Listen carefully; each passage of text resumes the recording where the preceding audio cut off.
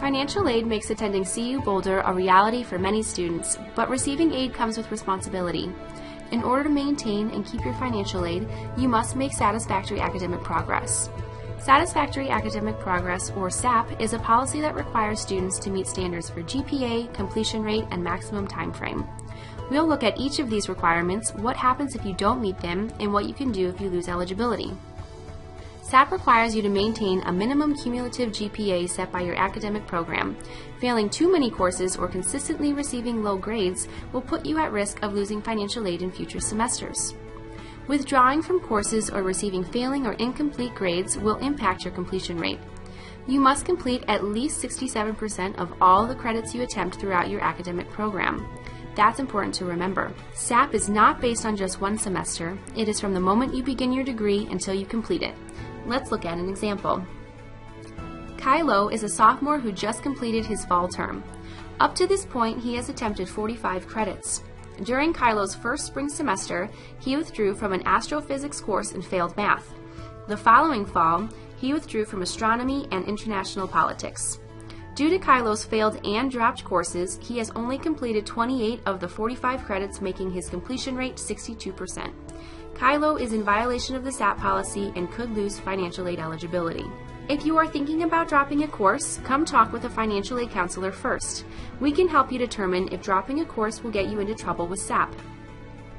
Maximum time frame refers to the total amount of credits you are allowed to attempt before losing eligibility for financial aid under the SAP policy.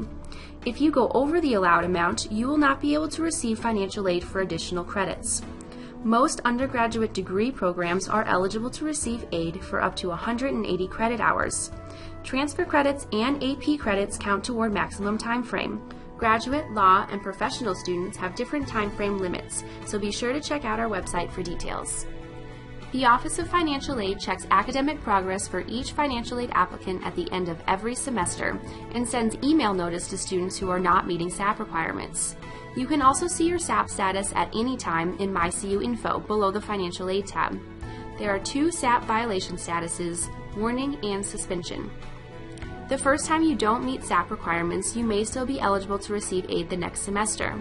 However, if you have not met minimum SAP requirements by the end of your next semester or fail to meet SAP in a future semester, you will lose eligibility for financial aid.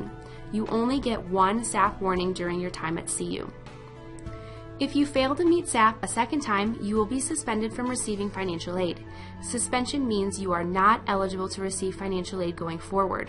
The best option at this point is to talk with a financial aid counselor about your situation. You may be able to improve your GPA or completion rate and regain eligibility for aid in a future semester, but you will have to find an alternative way to pay for college in the meantime. Depending on the circumstances that led to your suspension, you may be eligible to submit an appeal and regain financial aid for the current semester. If you have special circumstances like severe illness or injury, death of a relative, financial hardship, or some other circumstance that affected your academics, you may submit a SAP appeal. Not all appeals are approved.